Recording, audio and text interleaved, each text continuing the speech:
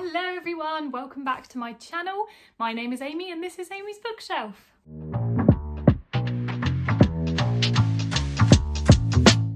So a few months ago I filmed a video called five five-star predictions for this year. I'll put it up here so you can watch it if you haven't already. You might want to go watch that one before you watch this one if you haven't. But this, now that I have read them all, is my update to tell you whether I rated them five stars or not. So these are the five books that were featured in that video. So we have Luster, A Good Girl's Guide to Murder,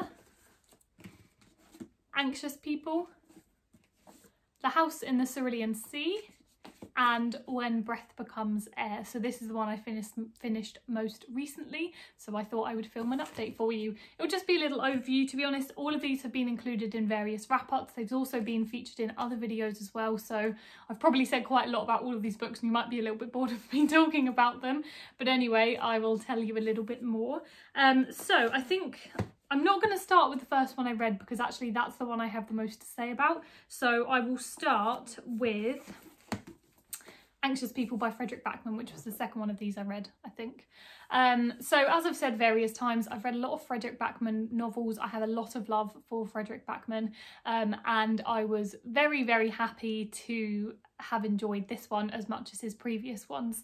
This, um, it felt really raw and it felt really deep and because it had a lot of different characters in it, um, it felt like it had a lot of different perspectives and a lot of ways for Fredrik Backman to communicate his thoughts on humanity, on the situation we find ourselves in, and obviously on the characters and the, the, situation they find themselves in. So the plot is about a bank robber who accidentally takes a flat of people hostage.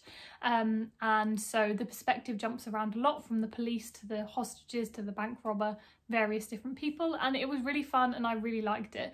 Um, one of the reasons I fell in love with Fredrik Backman when I first read his books was because his writing is so beautiful. I'm a real sucker for good writing even if there's no plot to be honest. I will take good writing over a good plot any day um, and he just has a way of talking about the world, about human beings, about our connection to each other, about love, about death so beautifully um, that you just can't help but love it. And this was definitely, definitely the same.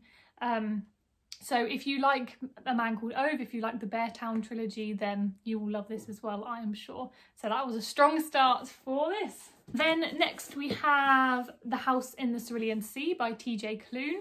This had a lot of five-star reviews when I picked it up. There has also been a little bit of controversy surrounding it. I did mention that in my March and April wrap-up as well.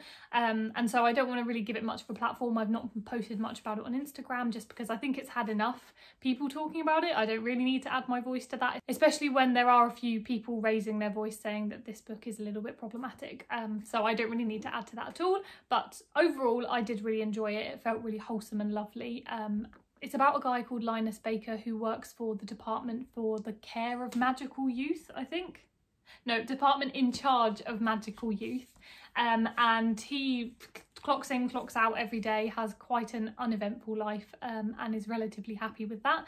But one day upper management call him in and ask him to go and assess a orphanage that lives, there's a little house like this one um, there you go, um, next to the sea and um, it is run by a man called Arthur um, and it's Linus's job to basically assess whether Arthur's doing a good job at the orphanage and whether it should be shut down or not.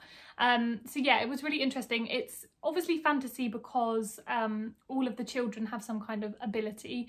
But when I say ability, it felt very like X-Men. So it's not like um, they have like telekinesis or the ability to fly or, you know, things like that. It was, um, you know, like they'll be part dragon or they'll have some kind of, like maybe they have wings growing from their back um, or they can breathe fire. It's like, it's not necessarily like a power in like a superhero sense um, but it, it's something that obviously makes them not human. Um, and the reason all of these children have been sent to this house is because they live in a world with humans who don't really accept them.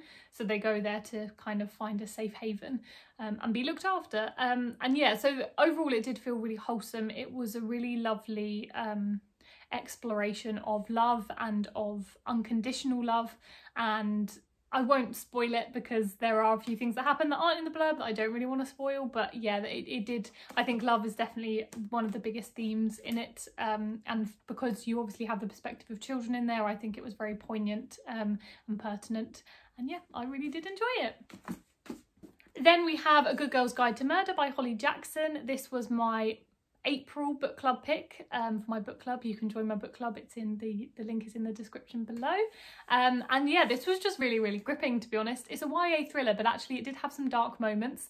Um, so when I did my wrap up, I was kind of hesitant to describe it as fun because while a lot of the elements were quite fun, there were also a fair few moments that, yeah, like I said, were quite dark. Obviously there's murder involved, but there's also a lot of um, ominous threats. There are um, ransom notes, there's kidnapping, you know, kind of quite scary things. Um, so despite the fact it's a YA thriller, it did definitely delve into some more adult themes.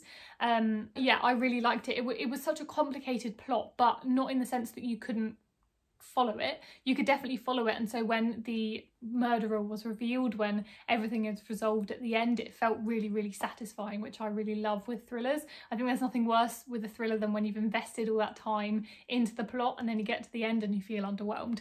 And this is definitely not the case for this. So yeah, I was really, really happy about that.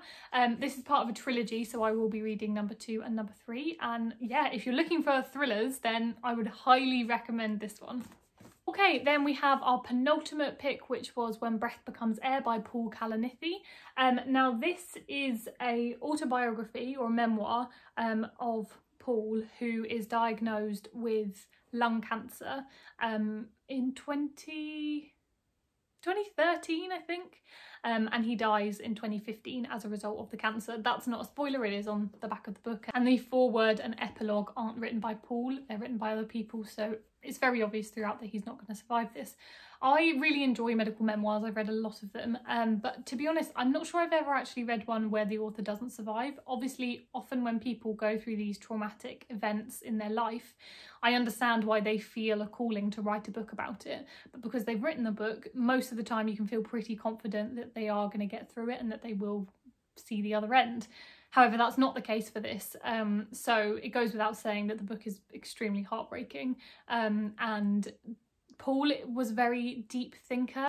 That is conveyed very strongly throughout this book. I think even before he was diagnosed with cancer, he often thinks about the big things in life you know what's the point of us being here what's the point in life what's going to happen when we die and these like really big unanswerable questions that he does try and talk a little bit more about with his diagnosis and I think that gives him a whole new perspective on those questions. Um, and yeah, he was a really brilliant writer as well, so it was a perfect opportunity for him to be able to use that skill and that talent to tell his own story. Um, so yeah, like I said, really heartbreaking, so don't go into it lightheartedly, um, but I do think it's worth the read and I think it's an extraordinary perspective um, and one that does deserve a read. And then finally, we have Luster by Raven Leilani. So the reason I wanted to talk about this one last is because if you couldn't tell by my glowing reviews of these four, I gave all four of these five stars. So my prediction was correct and I was very happy to say that I did give all of these five stars. However, Luster is the slight exception to that. Now this was the first one I read and I think when I read it, I knew that I'd put it in this video of five five star predictions and so when I read it and I didn't really have any issues with it I was like yeah that was a five star read. I enjoyed that. It was good. Now having read the other four and then being very strong firm five stars no doubt in my mind reads I think I'm gonna have to demote Luster to four or four and a half at a push but if we're going with Goodreads ratings and we can't do half stars then it'll be four there was nothing particularly wrong with it. I didn't not enjoy it by any stretch of the imagination, hence why when I initially read it, I did give it five stars. What I said in my review was that if, if this book had been any longer, then it would have very easily started dropping stars. It's not a very plot driven book, it's very much character driven. Um, so the book is about a woman called Edie who finds herself through a turn of events living with the guy she's having an affair with and his wife and kid. So it's a very messy situation and what I really liked about the narrative is it felt very unapologetic. It was kind of this unpolished stream of consciousness or that's what the, the, the dialogue and, and Edie's narrative felt like throughout, which I really enjoyed. Um, but it did feel quite messy. It was jumping around a lot of places. It wasn't very clear where the like narrative arc was going to take us. Um, and so yeah, I think if it had been longer, it would have easily been fewer stars. And I think in retrospect, it wasn't a five star read. I think frankly there were too many other books I've given five stars that I know were better than this so I think that's why I know it's a four star read. But I did really enjoy it like I said and it was very different as well. It didn't really feel like um, an authorial voice that I'd read before. Um, so I definitely will read more from Raven Leilani because I liked that it felt unique and fresh. Um, but yeah, it just wasn't perfect for me, so I won't be giving it five stars. So that is all of them. Um, I'm very happy with myself because I was mostly right in my predictions. And I think because I read these quite quickly, I might try and do a second one, um, five more books that I think I'll read five stars and then obviously update you when I have um, read them and let you know what I did rate them. Um, so yeah, let me know if you've read any of those, what you thought, whether you agreed with me, whether you also thought they were five star reads, and if you want me to do another one of these videos. Um, or if you have any ideas for videos that you want me to do in general, then I'm all ears. So let me know in the comments. Um, and if not, please like this video, please subscribe to my channel, and I will see you next time. Bye!